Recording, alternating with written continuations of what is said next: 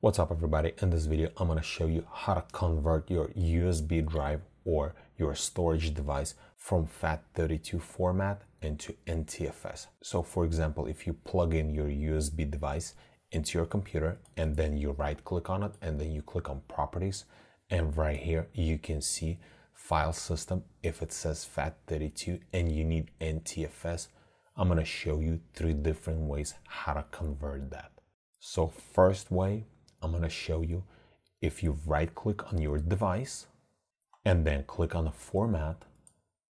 And right here at this window what you need to do you need to choose file system you need to choose NTFS and then we need to leave quick format check mark and then you can rename your drive you can name whatever you want and then click on start. And then this is just going to tell you that all data will be lost and you need to click OK Okay, format is complete. You click OK one more time and you can close this window. And then if you right click on your USB drive, click on properties.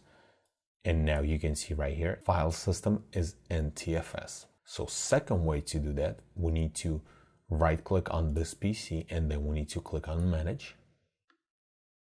And in here, we need to click on disk management. And in disk management, we need to find our flash drive. Then we need to right click on it and then we need to click on format. And in this window we can rename the drive. Same thing right here. We need to choose a file system ntfs and then leave everything as default and then click ok. And then ok one more time here. That's it. It's done. And then you can close this window. And once again you right click on it and you can see the file system is ntfs and the third way i'm going to show you how to do this using PowerShell. And by using a third way, none of your data will be deleted from your flash drive. So for example, if you have like a huge hard drive or big thumb drive and you don't want to lose your data, you can just convert and this is not gonna format your drive. So for example, if we're gonna open our USB drive and right here you can see I have document files saved to my uh, thumb drive. So here's what I need to do. I need to right click on start and click on Windows PowerShell admin, or I can just click on start and type PowerShell and then right click on PowerShell and run as administrator. Right here, we need to click yes. And this window is gonna come up. So here's one thing what we need to do. We need to verify letter drive and in here is letter F and then we can minimize this and then right here what we need to do we need to type following command convert spacebar and then your letter drive minus F.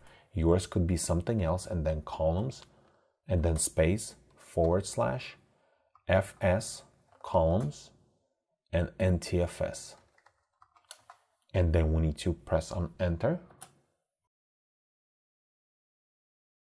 Once the process is complete, you'll see conversion complete. And now you can close this window. And now we go back to our file explorer and if we right click on our flash drive and click on properties, right here you can see the file system is NTFS. And then if you open your flash drive, you can see document file is still there. If this video was helpful to you, press that like button and don't forget to subscribe. Thanks for watching.